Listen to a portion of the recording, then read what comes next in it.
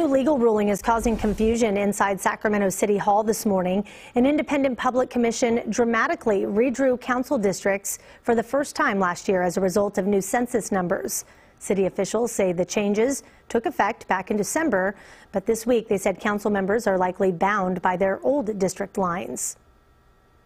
The comment that I got most frequently was, wait, I voted for this person and now you're telling me another person's going to represent me. Let's just put it this way. In the midst of all the other things we're dealing with, um, this was surprising.